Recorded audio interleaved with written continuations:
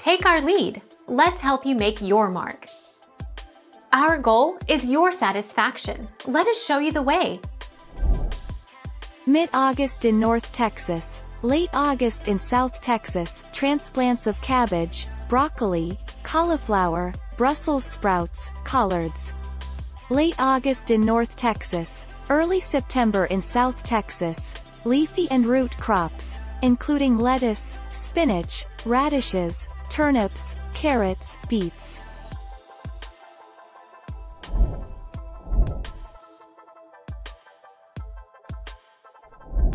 Take our lead. Let's help you make your mark. Flowers that survive in the heat Choosing the right flowers for your yard can make it look beautiful throughout the year, year after year.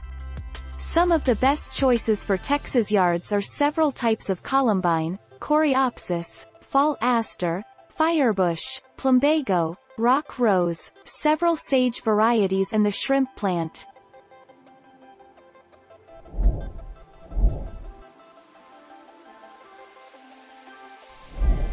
Make your mark. Take our lead.